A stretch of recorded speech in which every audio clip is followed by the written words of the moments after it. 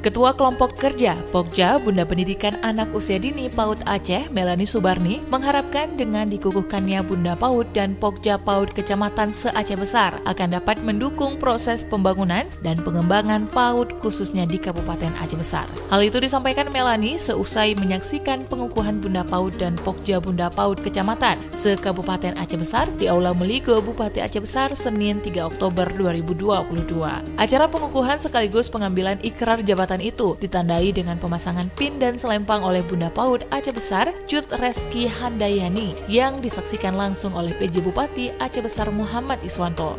Melani mengatakan melalui kontribusi aktif Bunda PAUD dan Pokja di kecamatan akan dapat membawa PAUD berjalan dengan lancar, termasuk juga salah satunya dalam upaya menekan angka stunting di wilayah masing-masing. Melani yang juga menjabat sebagai Ketua Dharma Wanita Persatuan Aceh itu juga meminta Bunda dan Pokja PAUD agar segera mempersiapkan diri untuk mengembangkan PAUD di wilayahnya masing-masing. Dengan dukungan dan kerja keras semua pihak, pendidikan anak usia dini di Kabupaten Aceh Besar akan mewujudkan PAUD yang semakin berkualitas. Bunda PAUD Aceh Besar, Jut Reski Handayani mengatakan, mengawal perkembangan anak di usia dini menjadi sebuah tantangan besar, mengingat masa Golden Age menjadi kunci bagi perkembangan mental dan spiritual anak di masa selanjutnya. Oleh karena itu, diperlukan pendampingan dan juga dukungan menyeluruh dari semua pihak secara elaborasi agar pendidikan anak usia dini bisa dilakukan secara maksimal. Sementara itu, PJ Bupati Aceh Besar Muhammad Iswanto mengingatkan kepada bunda-bunda yang baru dilantik agar dapat melaksanakan tugas dan tanggung jawab yang telah diamanahkan secara baik dan terperinci serta terukur.